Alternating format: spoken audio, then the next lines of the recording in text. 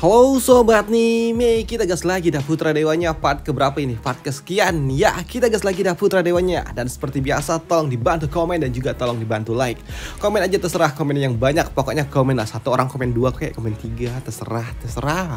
Yang penting banyak komen, ya langsung aja kita gaskan Putra Dewanya. Yang mau kasih gua kopi bisa lah baca di deskripsi ya. Biar dibacain. Besok dibacain oke? Langsung aja kita gaskan Mereview sedikit dari part sebelumnya, saat ini King Shu dia mengambil lengan dari Pangeran Lin yang memang terus-terusan aja memberikan sebuah provokasi yang sungguh sangat menyebalkan. Membuat King Shu dia mengambil lengannya dan itu jelas membuat King Shu harus berhadapan dengan orang tua ini yang tidak terima lengan dari putranya diambil oleh King Shu tepat di depannya. Tapi ketika orang tua ini dia ingin menghadapi King Shu, di sini King Shu dia berujar kau, hei berhentilah. Apakah kau berani menyentuh putra dewa ini? Ucap dari King Hugh dan jika kau masih berani melakukannya, hah, kau benar-benar akan hancur. Walaupun saat ini leluhur dari sekteku tidak ada, tapi apakah kau pikir ayahku, King Vantian tidak akan berani menghabisi seluruh kerajaanmu? Ucap dari King Hugh mengancam orang tua ini. Dan dia pun tahu kalau orang tua dari King Hugh adalah King Vantian, orang yang sangat luar biasa yang membuat orang tua ini dia pun tahu dia tidak mungkin dapat berbuat macam-macam. Dan itu jelas membuat Kishu dia pun tahu kalau orang tua ini dia tidak akan berani. Dan itu adalah hal yang cukup membuat orang tua ini dia langsung kircep. Dan dia juga meminta maaf kepada Kishu telah apa yang coba dia lakukan. Ah, maafkan aku putra Dewa 18. Tolong ampuni ampuni diriku. Ujar dari orang tua itu yang membuat Kishu dia berujar. Ya, Aku akan memaafkan dirimu, tapi bagaimana caranya kau dapat menghapus dosa ini? Ucap dari King Hugh yang meminta sebuah kompensasi. Dan itu membuat orang tua ini dia berujar. Uh, iya, baru-baru ini di lantai 5 dari gua neraka ini, kami telah mendapatkan giok gajah naga yang baru dan aku akan memberikannya kepada dirimu putra dewa. Ucap dari orang tua ini. Dan apa yang diucapkan oleh bapaknya membuat bocah tengil ini dia pun tidak terima. Ayah, kau tidak boleh memberikannya. Diam! Ucap dari Pak Tua itu yang membentak putranya. Di mana dia juga berujar, ah putra Dewa 18. Hanya inilah yang dapat kami berikan. Tapi giok itu masih ada di lantai 5. Dan jika kau ingin mengambilnya silakan kau ambillah sendiri. Ucap dari orang tua itu yang membuat King Shu dia berujar. Ya, aku akan mengambilnya dan akan aku ampuni kalian untuk kali ini. Dan sekarang ayo kita pergi. Pelayan go. Ucap dari King Shu meninggalkan orang-orang ini. Dan untuk mereka dilakukan, diperlakukan seperti ini membuat Pangeran Lin tentunya dia tidak terima. Bagaimana bisa mereka membiarkan Kinshu begitu saja setelah Kinshu mengambil lengannya ini bahkan memberikan sebuah kompensasi gila. Tapi orang tua ini dia pun mengatakan kalau dia tidak mungkin dapat melakukan apa pun karena Kinshu sungguh sangat mengerikan. Dan jika aku tidak memberikan yang giok begitu, apakah kau pikir dia akan mau masuk ke dalam gua neraka di lantai 18? Ah, pangeran. Dan untuk dirimu, kau berada di generasi yang sama dengan dia dan kau benar-benar hancur dengan dirinya. Ah, itu hanya membuat kau hanya dapat menyalahkan dirimu sendiri karena kau tidak terampil. Ujian dari orang tua ini yang menyalahkan putranya yang memang tidak dapat bersaing dengan King Shu. Dan untuk orang tua ini, dia juga mengatakan kalau dia tidak mungkin dapat menghabisi King Shu baik secara langsung di hadapan semua orang karena sejatinya, ah, aku takut kalau sektinya, sekte Ihua benar-benar akan ngamuk. Begitu juga dengan bapaknya, yaitu Kan Fan Qin Fantian. Dan jika dia menghancurkan kita, dia dapat melakukannya dengan sangat mudah. Ucap dari orang tua ini yang membuat putranya benar-benar kesal. Karena jika Kinshu dia mendapatkan giok itu lagi, tentunya itu akan membuat Kinshu semakin lebih kuat dan tentunya itu akan semakin sulit bagi mereka untuk dapat menghabisi Tapi di sini Pak Tua ini dia pun mengatakan untuk tidak perlu khawatir karena memang saat ini di lantai 18 Kinshu dia telah ditunggu oleh seseorang, seorang pria yang akan membalaskannya, membalaskan dendam dari kakaknya yang telah dihabisi oleh Kinshu beberapa waktu lalu. Dan dia benar-benar akan menghabisi Kinshu. Ya, ucap dari orang tua ini. Ya, mendengar itu semua tentunya membuat Pangeran Lin dia pun senang dan dia benar-benar ingin membuat Kinshu benar-benar bakal tamat. Ya, aku ingin menghancurkannya. Ucap dari orang ini. Ya, Pangeran Lin ini yang berencana untuk menjebak Kinshu di bawah sana. Sedangkan untuk Kinshu sendiri saat ini, boom, dia pun turun ke dalam gua neraka. Dan di tempat inilah Kinshu dia pun tahu kalau di tempat ini banyak sekali roh-roh jahat. Tapi untuk mereka ataupun untuk Kinshu hal ini tidaklah berarti karena memang dengan satu tepukan kecil, boom, roh itu langsung tumbang. Hah, sungguh sangat lemah. Ucap dari King Shu. Dan untuk pelayan Go, dia pun mengatakan kalau sejatinya yang seperti ini tidak mungkin berpengaruh untuk mereka. Karena sejatinya yang masih ada di lantai-lantai awal ini masih biasa aja. Tapi tidak dengan lantai 4 ke bawah. Itu cukup berbahaya. Ucap dari pelayan Go. Ya, aku mengerti. Ucap dari Kinshu dan ayo kita turun ke lapisan lebih dalam. Ucap dari Kinshu dan ayo kita selamatkan keluargamu. Hulu. Sedangkan di sisi lainnya, di lantai terdalam saat ini, keluarga dari pelayan Go benar-benar mendapatkan sebuah perlakuan yang tidak menyenangkan dari para penjaga. Mereka meminta orang-orang yang bekerja di tempat ini untuk terus bekerja tanpa kenal lelah. Bahkan saat ini ketika mereka terjatuh, mereka mendapatkan sebuah hukuman yang benar-benar uh, menyakitkan untuk mereka. Dan ini adalah hal yang benar-benar uh, jahat lah pokoknya. Mereka semua, para penjaga yang ada di tempat ini, mereka semua jahat. Mereka tidak peduli dengan para pekerja yang mau tidak mau harus bekerja terus walaupun mereka juga sedang terluka. Ya, para penjaga ini sungguh sangat jahat dan mereka tidak segan memberikan sebuah hukuman-hukuman yang tidak masuk akal. Akan di sini ketika seorang pekerja mencoba untuk protes di sini, seorang penjaga dia juga tidak segan-segan untuk menghabisinya dan ketika seorang penjaga akan menghabisi seorang pekerja di sini, puh, penjaga itu dihajar dengan sangat telak dan yang melakukannya itu jelas adalah King Shu yang datang tepat waktu bersama dengan pelayan Go. Dan melihat ini semua jelas membuat mereka berdua sungguh sangat kesal dengan apa yang telah dilakukan oleh para penjaga. Dan ternyata mereka para pekerja yang akan dihabisi itu adalah keluarga dari pelayan Go. Dan itu jelas membuat pelayan Go benar-benar kesal dan dia murka. Namun untuk mereka, orang-orang ini mereka pun sungguh sangat beruntung dan mereka pun sungguh sangat senang dan merasa kalau mereka ini benar-benar telah diselamatkan oleh saudaranya itu. Sedangkan untuk King Shu tentunya dia menjadi target bagi para penjaga yang benar-benar telah kesal setelah mereka diganggu oleh King Shu dan itu membuat kini mereka King Shu akan dihabisi oleh para penjaga yang ada di tempat ini. Namun untuk King Shu dia pun tidak peduli dengan itu semua. Memang para penjaga ini mereka tidak ada gunanya di hadapan Kinshu karena dengan satu gerakan saja di sini Kinshu dengan sangat mudah dia pun boom, menjatuhkan para penjaga. Dan melihat Kinshu yang berani melawan para penjaga tentunya membuat para penjaga mereka pun kesal dan mereka berniat langsung menghabisi Kinshu tidak lagi menghukumnya. Dan untuk Kinshu dia pun langsung mengeluarkan kekuatannya. Dengan tekanannya saja di sini Kinshu dia dapat boom membuat para penjaga mereka semua langsung berlutut. Dan itu jelas membuat mereka pun bertanya bertanya tentang siapa orang ini. Tapi di sini King Shu dia berujar, ya kalian semua tidak perlu tahu siapa aku. Ucap dari King Shu. Namun untuk pelayan Go ketika dia bertanya kepada keluarganya di mana keluarga besarnya yang lainnya di sini Pak tua ini dia pun mengatakan kalau sejatinya seluruh anggota keluarganya yang lainnya mereka semua telah dihabisi oleh para penjaga yang membuat pelayan Go dia pun shock mendengar itu semua. Dan untuk para penjaga mereka pun tidak peduli dengan itu semua dan mereka pun bertanya siapa yang berani-beraninya melakukan hal ini kepada mereka. Dan kau benar-benar akan membayar ucap dari para penjaga. Tapi untuk King Hugh dia berujar hah pelayan Go uruslah mereka sendiri. Berikanlah mereka sebuah pelajaran karena mereka berani menghancurkan keluargamu. Ucap dari King Shu yang membuat kini pelayan Go. Ini dia langsung mengeluarkan item miliknya dan dia langsung memberikan hukuman kepada orang-orang ini. Plan Go dan benar dia membalaskan itu semua dengan tangannya sendiri. Uh, melihat seorang penjaga dihabisi seperti ini membuat rekan-rekannya mereka pun tidak terima dengan itu semua dan mereka mengaku kalau mereka adalah penjaga pribadi milik Kaisar. Tapi, uh, untuk klien Go dia tidak peduli dengan itu semua dan dia langsung membalaskan ini semua menghabisi mereka satu persatu. Kau, ini ini ini adalah pusat dari kerajaan kami dan raja akan akan menghabisi kalian. Ucap dari orang ini tapi untuk Kishu, Ho, Raja, Kaisar, Hu, baiklah, akan aku berikan kau sebuah kesempatan. Sekarang cepat hubungilah kaisarmu itu. Hah, ucap dari Kishu.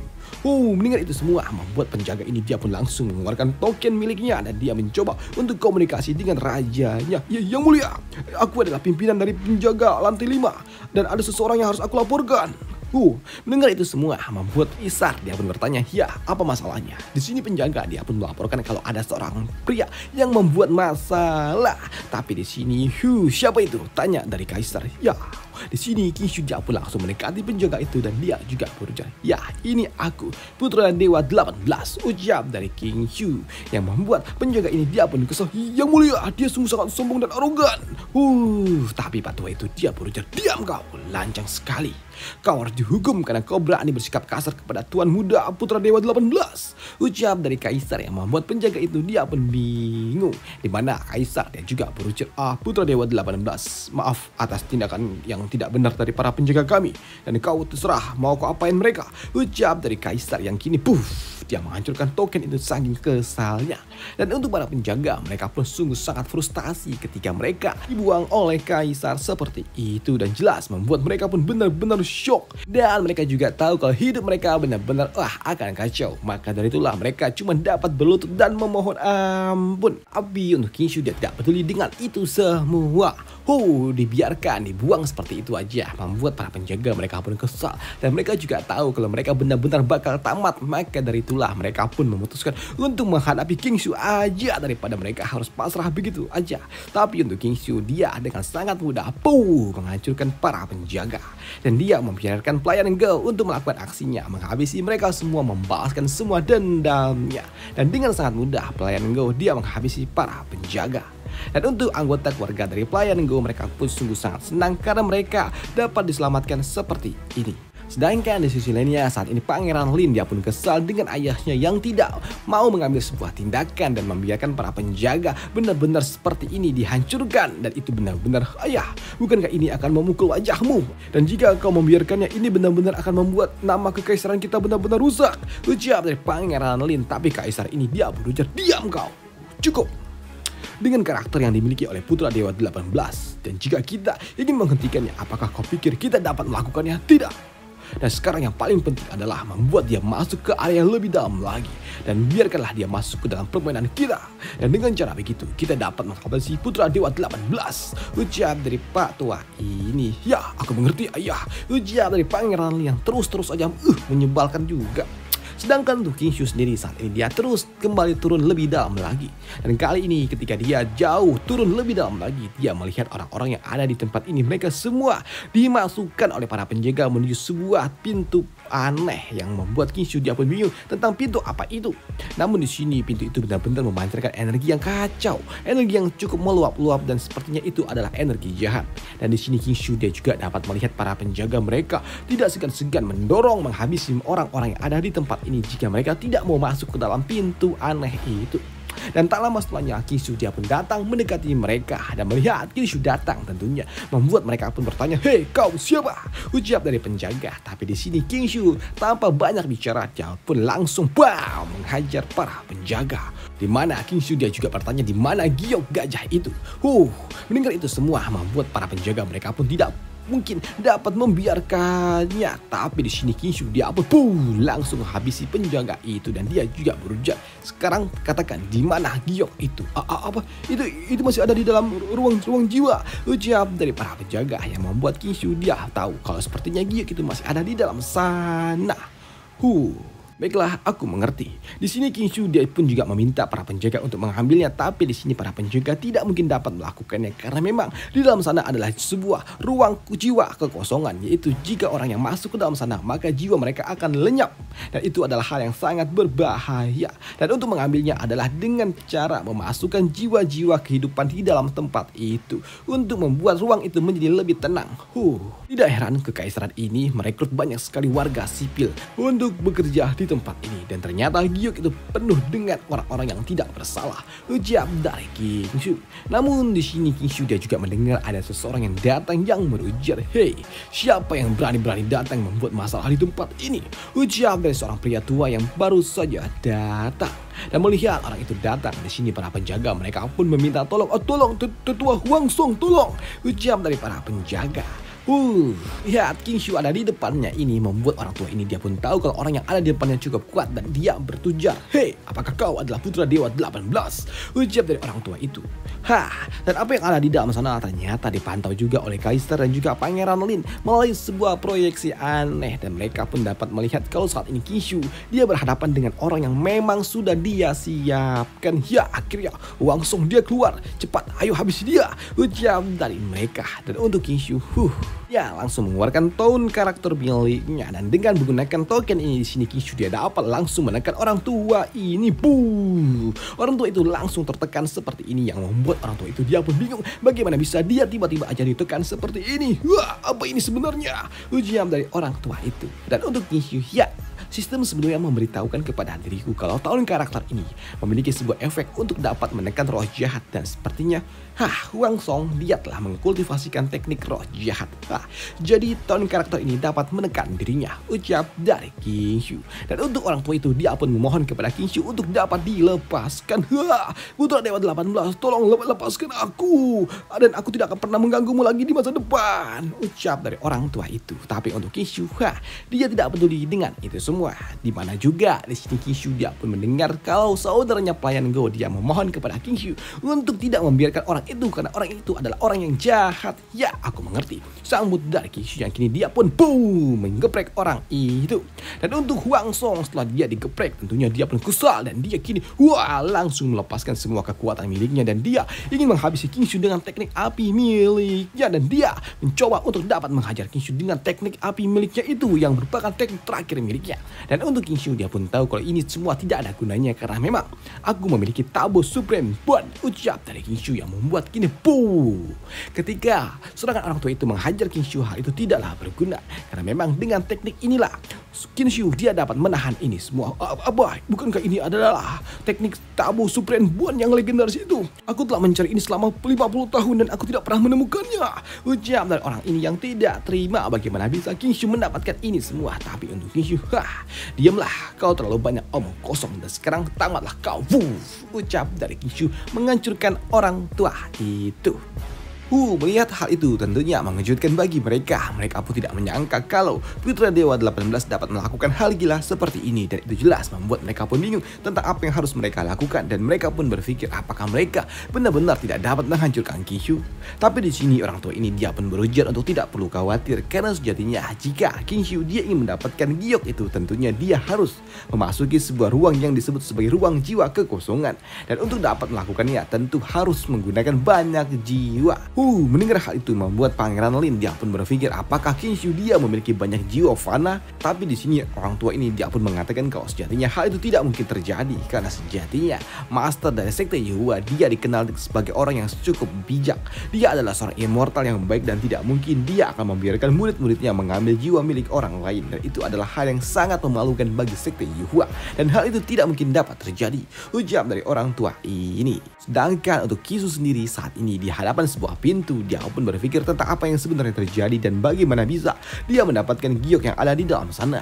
Dan ketika King Shu dia ingin memasuki tempat itu, di sini dia pun dihentikan oleh saudara dari pelayan Go untuk tidak masuk ke dalam sana karena sejatinya jika seseorang masuk ke dalam sana maka jiwa mereka benar-benar akan dilahap. Dan itu jelas adalah hal yang cukup mengerikan. Dan untuk King Shu dia pun berpikir tentang apa yang harus dia lakukan. Maka dari itulah dia pun juga bingung apakah dia akan masuk ke dalam sana.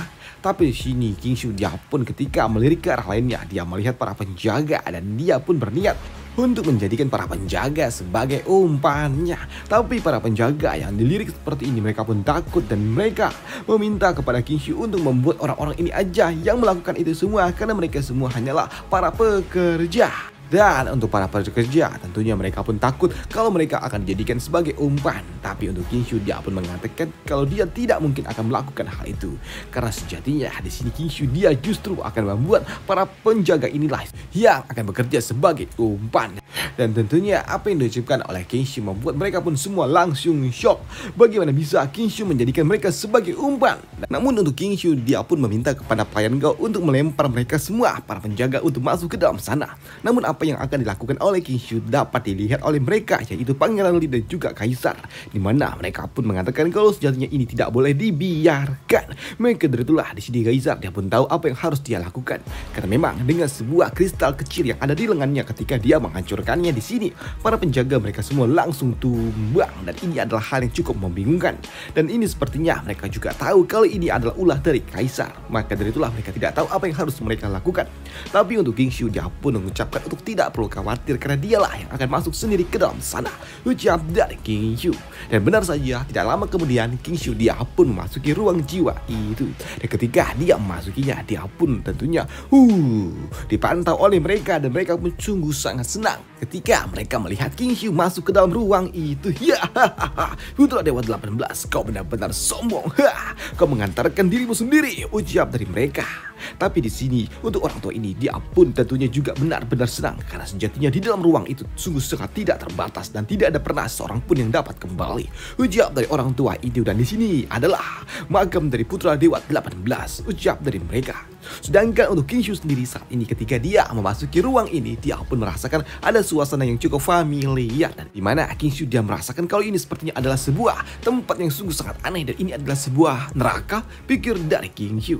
Tapi di sini King Shu ketika dia pun bingung tentang apa yang harus dia lakukan dan ke mana dia harus pergi. Di sini ternyata ada yang keluar dari dalam tubuhnya dan itu adalah sebuah penanda lokasi yang membuat King Shu dia pun tahu ya Kau tahu benda ini? Ini adalah penanda lokasi neraka. Ucap dari King Shu dan untuk benda kecil itu dia pun kini melesat dan itu membuat King Shu dia memutuskan untuk mengikuti ke mana benda itu pergi. Maka dari itulah beberapa saat kemudian kini King Shu dia pun dituntun menuju sebuah tempat dan ternyata tempat yang dituju oleh King Shu adalah sebuah altar yang terdapat sebuah giok di atasnya dan itu adalah giok naga yang tentunya memang dicari oleh King Shu. Wow, luar biasa. Selain itu juga di sini King Shu dia pun dapat kembali melihat sebuah Jalan Kaisar dan itu adalah hal yang cukup mengejutkan. Tapi sebelum memasuki tempat itu, di sini King Shu tentunya dia harus mengamankan dulu giok naga ini. Wow, akhirnya tanpa diduga aku bisa menemukan tempat ini juga dan ini giok ini juga ujian dari King Shu. Namun di sini King Shuja pun sebelumnya juga bingung tentang apa yang harus dia lakukan. Dan sepertinya ya aku hanya dapat melewati jalan kaisar ini. Ujian dari King Shu dan aku tidak tahu apakah hmm, orang tua itu masih memancing di dalam sana. Pikir dari King Shu. Maka dari itulah kini King Shu dia pun kembali memasuki jalan kaisar ini. Dan ketika dia menjelajahi tempat ini, dia pun merasakan kalau jalan kaisar di tempat ini sungguh cukup berbeda karena penuh dengan energi-energi jahat. Tapi di sini Kinshu tetap tidak peduli dan tetap memasuki jalan ini. Dan tak lama setelahnya, kini setelah beberapa saat, kini Kinshu dia pun kembali bertemu dengan sebuah batu besar yang menghalangi sebuah jalan. Dan ini adalah batu yang sebelumnya pernah dia lihat juga. Hei, aku bertemu dengan batu ini lagi kah? Uh, namun di sini King Shu dia juga melihat kalau ternyata di batu ini terdapat namanya lagi dan kali ini King Shu dia ada di peringkat 15 padahal sebelumnya dia ada di peringkat 16. Huh, benarkah? Lagi pula peringkat ini untuk apa ya? Pikir dari King Shu. Dan setelah melewati tempat ini, King Shu dia pun kembali berjalan dan kembali bertemu dengan sosok yang tidak asing bagi dirinya yaitu ya petua ini yang lagi-lagi lagi mancing. Dan itu membuat King Shu dia pun langsung menyapanya. Hey senior. Huh, mendengar ada seseorang yang datang membuat orang tua ini dia pun menoleh. Dan ketika dia melihat ternyata lah ini lagi si bocah ini lagi. Dan untuk King Shu dia pun berujar. Hey senior. Aku tidak menyangka kalau kita dapat bertemu secepat ini lagi senior. Ucap dari King Shu yang membuat orang tua ini dia pun juga bingung lah. Bagaimana bisa dia bertemu lagi dengan bocah tengil ini? Hei kenapa kok ada di sini lagi bocah? Ucap dari orang tua itu. Tapi untuk King Shu ya tentunya dia mencoba mendekati orang tua itu dan berbincang-bincang sedikit. Namun untuk King Shu yang saat ini kembali memasuki jalan Kaisar Dia pun bertanya kepada orang tua itu apakah jalan Kaisar ini sama seperti jalan Kaisar yang sebelumnya? Tapi orang tua ini dia pun mengatakan kalau hal itu tidaklah mungkin Karena sejatinya jalan Kaisar itu terdapat 9 jalan Kaisar 9 jalan yang berbeda yang membuat King dia pun bingung Oh benarkah?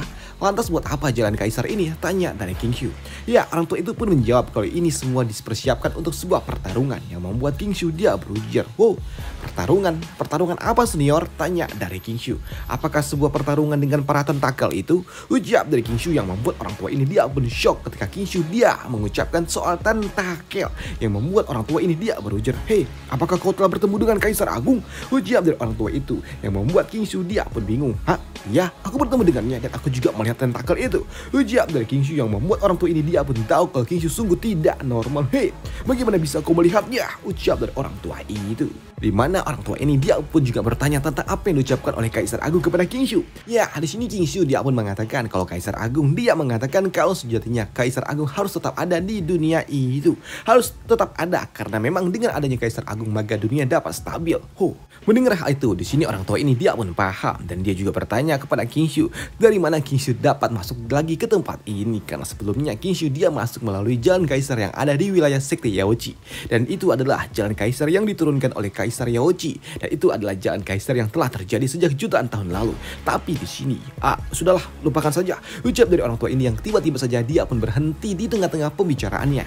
Namun untuk King Shu dia juga bertanya lagi kepada orang tua ini sebenarnya dengan siapa dia akan berselisih nantinya ataupun Kaisar Agung itu. Di sini orang tua ini dia pun berujar dan tidak mau mengucapkan itu juga kepada King Shu karena sejatinya nah untuk saat ini kau belum dapat memenuhi syarat itu ucap dari orang tua itu. Ah baiklah kalau begitu, aku ingin bertanya tentang hal yang lain. Tanya dari King Shu. Di sini King Shu dia pun mengatakan apakah setiap jalan kaisar yang ada itu penuh dengan sebuah tempat-tempat yang rusak seperti ini dan juga sepi? Tanya dari King Shu. Ya, hal itu pun dibenarkan juga oleh orang tua ini. Karena sejatinya jalan kaisar itu sungguh sangat sepi dan juga rusak. Dan aku juga ingin tahu, ha, bagaimana kau bisa masuk kali ini? Tanya dari orang tua ini yang membuat King Shu dia berujar. Kalau saat ini dia memasuki jalan kaisar melalui sebuah tempat yang disebut sebagai Gua Neraka Lantai 18. Huh, Bahkan saat ini King Shu dia juga mengatakan kalau sejatinya dia dapat juga merasakan energi yang berasal dari dunia batas bawah. Dan itu jelas mengejutkan bagi orang tua ini. Apa? Dunia batas bawah? Kau dapat merasakannya kah? Orang tua ini pun bingung dengan apa setiap yang diucapkan oleh King Shu. Dan ini adalah sebuah kejanggalan yang tidak pernah masuk akal bagi orang tua itu. Dan untuk King Shu dia pun mengatakan kalau dia dapat merasakan dunia batas bawah karena dia dapat memiliki sebuah lokasi penanda yang ada di bawah sana. Dan itu adalah sebuah hal yang cukup aneh bagi orang tua itu itu. Dan ketika King Shu dia pun menunjukkan penanda yang dia dapatkan membuat orang tua ini dia pun mau membenarkannya. Kalau ternyata benda inilah yang akan menunjuk ataupun menuntun King Shu menuju dunia batas bawah. Dan itu membuatnya pun bingung tentang apa yang sebenarnya terjadi dan siapa bocah tengil ini. Dan untuk King Shu dia berujuk ah senior ah aku akan memperkenalkan diriku. Ah, perkenalkan, namaku adalah King Shu dan aku adalah putra dewa 18 dan aku berasal dari sekte Yuhua. Ujian dari King Shu. Tapi orang tua itu tiba-tiba saja, wow, dia langsung mengangkat lengannya dan dia langsung meletakkan lengannya di atas kepala King Shu dan itu membuat tubuh King Shu tidak dapat bergerak dan itu membuat dia pun bingung tentang apa yang coba dilakukan oleh orang tua itu. Namun untuk orang tua ini dia pun berujar, ah, Kaisar Daoki, keberuntungan. Ah, nak Tubuhmu sebenarnya mengandung begitu banyak energi ilahi. Tidak heran pengalaman dan juga kesempatanmu sungguh sangat berbeda dibandingkan dengan orang biasa. Dan itulah, mungkin saja itulah sebabnya kenapa kau mendapatkan lokasi penanda dari dunia batas bawah. Namun di sini orang tua ini dia pun juga mengatakan kepada King Shu kau dulu ada sebuah pertempuran besar di tempat ini. Maka dari itulah jalan menuju dunia batas bawah sempat terputus di tempat ini. Di mana orang tua ini dia juga mengatakan kalau pertempuran itu adalah sebuah pertempuran sengit yang ada di jalan Kaisar Agung untuk dapat memper merebutkan dunia batas bawah. Namun setelah pertempuran itu, dunia batas bawah tiba-tiba saja menghilang dan itu telah terjadi sejak ratusan tahun lalu, bahkan mungkin jutaan tahun lalu, ataupun mungkin, hah, itu hanyalah sebuah legenda ucap dari orang tua ini. Di mana orang tua ini, dia meminta kepada King Shu untuk tidak lagi membicarakan ini semua dan dia juga meminta kepada King Shu untuk pergi karena waktunya udah habis ucap dari orang tua itu yang membuat King Shu dia berujar, ah baiklah senior, aku mengerti. Namun sebelum pergi di sini King Shu dia juga bertanya kepada orang tua ini sebenarnya siapa orang tua ini. Tapi di sini Pak tua ini tidak mau menjawab pertanyaan itu dan dia juga bingung kenapa King Shu juga nggak pergi-pergi. Tapi di sini King Shu dia pun meminta kepada orang tua ini untuk memberikan hadiah karena sebelumnya orang tua ini berjanji akan memberikan pancingnya kepada King Shu. Hei, enggak orang tua ini pun gak mau memberikan hadiahnya ataupun mainannya ini kepada King Shu. Dan itu membuat King Shu dia pun sedikit ah terus memprovokasi orang tua itu yang membuat orang tua itu kesal yang pada akhirnya orang tua itu pun memberikan hadiah kepada King Shu yang merupakan seekor naga kecil. Nah, ambillah. Ini adalah naga, ucap dari orang tua itu. Uh, mendapatkan seekor naga membuat King Shu pun bertanya apakah ini adalah sebuah true dragon? Ah, seekor true dragon. Ah, dan hal itu memang dibenarkan juga oleh orang tua ini kalau ini adalah seekor True Dragon. Tapi True Dragon di luar sana tidak pernah ada lagi seiring hilangnya dengan Kaisar Agung. Tapi tidak, dengan tempat ini masih ada beberapa ekor. Tapi ini adalah seekor naga muda dan kau rawatlah baik-baik ucap dari orang tua itu yang membuat Kishu tentunya dia pun mengucapkan terima kasihnya kepada orang tua itu yang telah memberikannya hadiah yang sangat luar biasa. Ah, baiklah senior, terima kasih atas hadiahnya dan aku pamit dulu. Ucap dari Shu. Dan setelahnya Shu dia pun mencoba untuk pergi dari tempat ini setelah dia dapat hadiah yang sangat luar biasa seperti ini. Wow, True Dragon telah lama menghilang dan mungkin saja aku satu-satunya yang memiliki seekor naga asli di dunia ini dan ini adalah hal yang sangat luar biasa.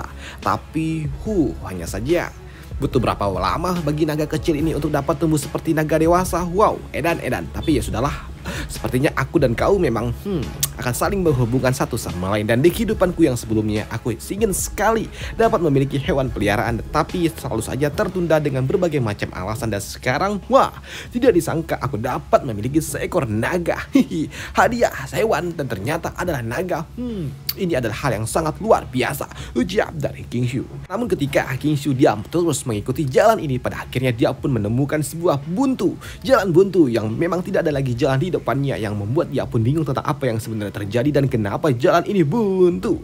Tapi di sini King Shu dia pun melihat sebuah lingkaran aneh tepat di depan mukanya dan lingkaran itu pun langsung turun ke bawah dan itu membuatnya berpikir, "Hei, penanda lokasiku menuju ke arah bawah. Apa yang terjadi?" Ucap dari King Shu. Maka dari itulah sepertinya King Shu dia akan turun ke bawah sana dan apa yang ada di bawah sana nanti dibahas di part selanjutnya aja. Karena apa? Karena gue udah nggak mood lagi. Sekarang karena apa? Nih, denger. Nah, tetangga gue lagi bangun rumah di sebelah. Jadi tak tok tak tok baik. Hah. Bener-bener gue enek. Pengen gue tempelin tuh tukangnya. Bangke lah. Uh, padahal baru pagi-pagi nih cuy. Gue lagi libur ini kebetulan lagi libur. Pengen take voice bikin banyak gangguin. Aduh, emosi saya. Emosi. Jadi udah kita selesaikan aja part kali ini. Mungkin sekitar 5 atau atau mungkin 10 menit terakhir banyak noise, banyak taktok taktok. Ya karena itulah mau nggak mau cuy. Kalau malam hujan nggak bisa, jadi ya udah terpaksa apa ini pagi. Karena mumpung lagi libur. Eh, begitu juga. Dah lah, gitu aja cerita untuk hari ini dan sampai jumpa di part selanjutnya uh, besok lagi. Gak usahin. Bye. Thank you.